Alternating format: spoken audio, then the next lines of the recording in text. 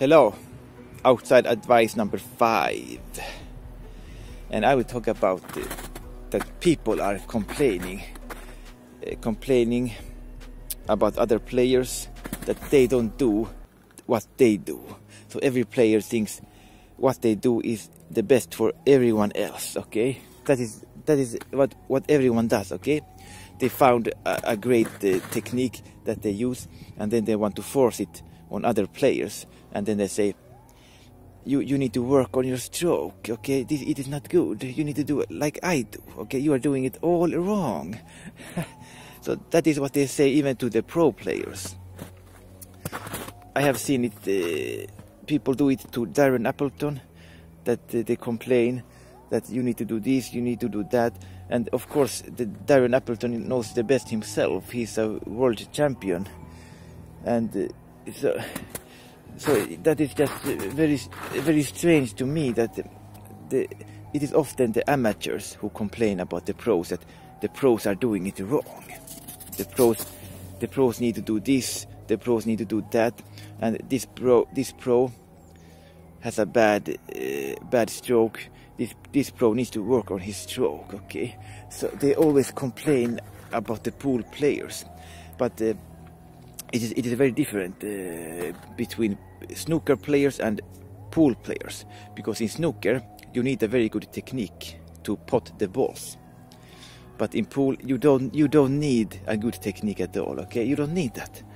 So that is why you see many many pool players use very very different techniques. Because it just doesn't matter okay? It doesn't matter. Because the pockets are so big. Pockets are so big. And what really matters is practicing uh, the knowledge. Okay, you need knowledge in pool. You don't need good potting ability. You need knowledge of the angles, the spin, and everything.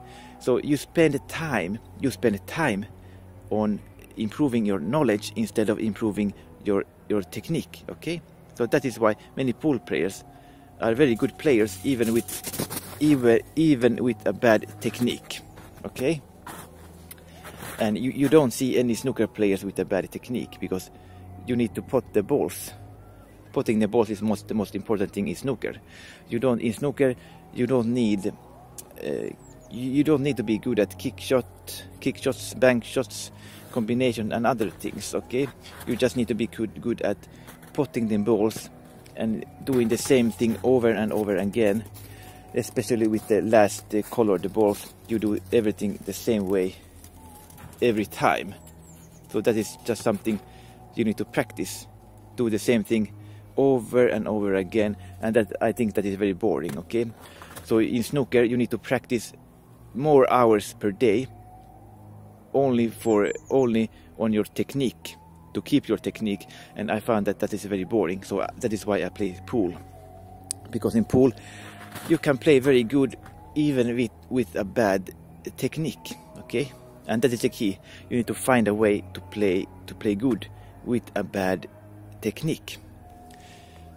So you need to find a way to to play with pocket speed okay? Pocket speed uh, that how can you make the shot with the greatest greatest amount of um, chance the biggest chance of the ball going in. You need to find a way to play like that.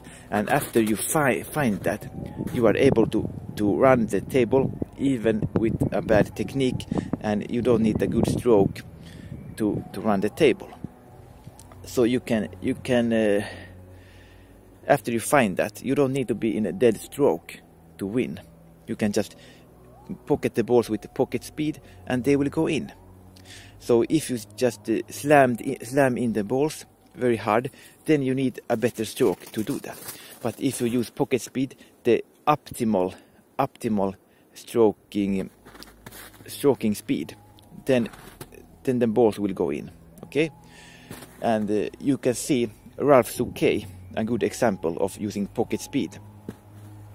So that is why that is why he wins so much, because uh, if if he would have hit the ball wrong, it still goes in and he continues to run the table. So that is that is a very good idea to, to do. You need to practice. You don't need to practice using a good stroke. You can practice practice using a sloppy stroke, very bad stroke, and you practice how, how will you play in order to run the table. How will you play? So that is what I have done recently. I have done. Uh, I have played very quickly. Okay, very quickly. I haven't focused on the stroke. Just play quickly, maybe uh, a couple seconds per shot. Uh, after going down, after going down on, on into my shot, I just stroke one time and then I pull the trigger. So that is not as accurate as it uh, would be, but it uh, helps me learn how to use pocket speed to run the table. And I recommend you do the same. I recommend you do the same. Practice, uh, practice to play in a way that you can run the table even with a bad stroke. Okay, so that is the end of my video. I will go now. Subscribe. I'll see you soon. Goodbye.